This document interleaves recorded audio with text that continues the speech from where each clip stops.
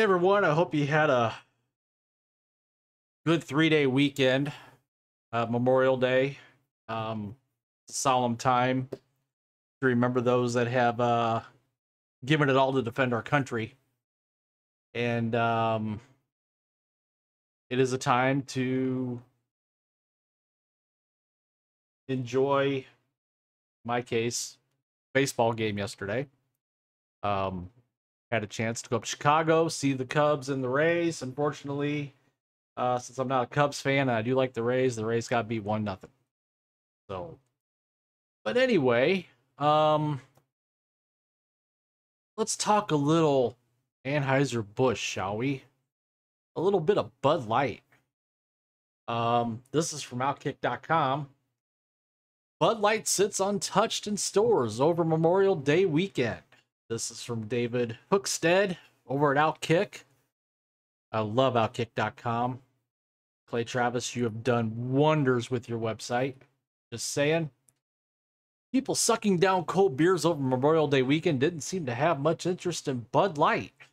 Gee, I wonder why that is. Bud Light has been facing intense pressure and scrutiny ever since the company made the mind boggling decision to team up with you guessed it, Mr. Dylan Mulvaney. At this point, ordering a Bud Light is tantamount to treason in the eyes of many people. You, you just can't do it. And people partying during Memorial Day weekend definitely didn't seem to have any interest at all in bringing Bud Light to different festivities. The Daily Caller shared a photo that really set the tone. There was enough Bud Light to get a small town drunk, but it sat untouched, gathering dust while other options were pick clean. If you're doing what we're doing today, drinking ice colds and grilling with your family and friends with an American flag nearby, do us a solid and share a pic of your local beer aisle. That's from the Daily Caller. However, the tweet from the caller was far from the only example. There were plenty of examples floating around social media of Bud Light not being moved for the holiday weekend. Me play this little YouTube video here.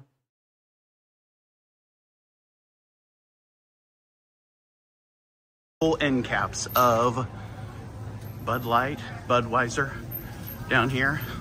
Boycott's going awesome, guys.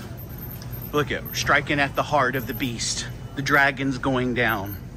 I love it. What they don't realize is they've woken a sleeping giant, and that giant is coming alive. Our government is taking notice that they pushed it too far. The woke agenda is subsidized by big government. They're the ones pushing it.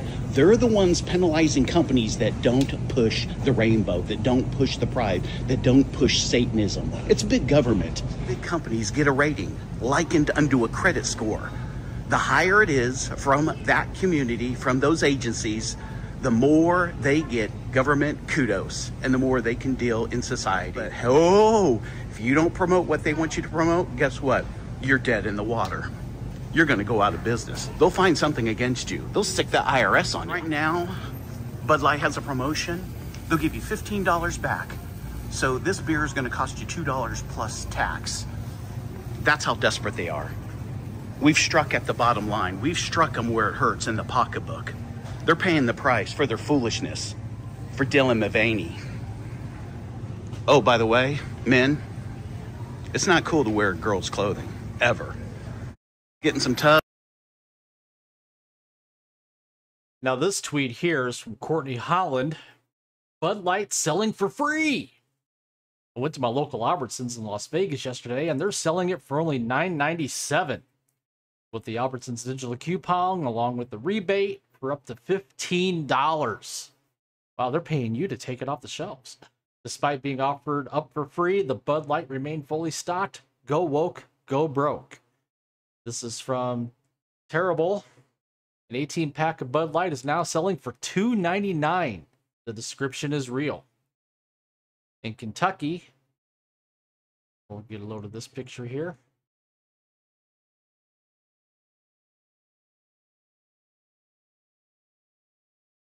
See, it's fully stocked in Kentucky. The latest sales data indicates Bud Light sales were down nearly 30% compared to a year ago. That's not just bad, It's a disaster nobody could have envisioned before the Dylan Mulvaney disaster. You could spend decades building a brand and destroy it with one Instagram promo. Play stupid games, win stupid prizes. Outkick's Anthony Ferris also had his own experience confirming all the photos going viral. He attended three Memorial Day weekend parties, what a weekend, and didn't see a single Bud Light at any of them. While I definitely didn't hit up a trio of parties, shout out to Growing Old, I also didn't see a single Bud Light in any of my Bud Light ventures. People are simply choosing beer brands that don't inject woke politics into their alcohol selections. Pretty simple. As for Bud Light, we'll see if the company ever recovers. But the lack of Memorial Day weekend sales tells you everything you need to know. Nobody could have envisioned it a year ago, but here we are. Go woke, go broke. And that's exactly what's going to happen. I mean, you have to realize that Budweiser made a big deal releasing their first quarter results. But that was pre Dylan Mulvaney. Their second quarter results in August, those are going to be an utter disaster for Anheuser-Busch.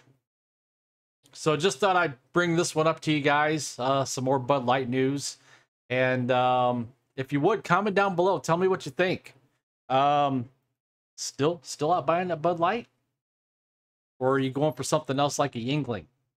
Um, so feel free to comment down below again. Uh, please like this video, share, subscribe. If you haven't subscribed yet and you like the content that I'm putting out, hit that subscribe button. Also, get hit the notification bell to get notified when my content is uploaded here on a daily basis.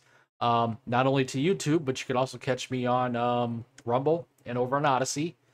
And even if you don't like the content, you want to hear a different point of view, hear a different opinion, subscribe anyway. So that's all I have for right now, folks.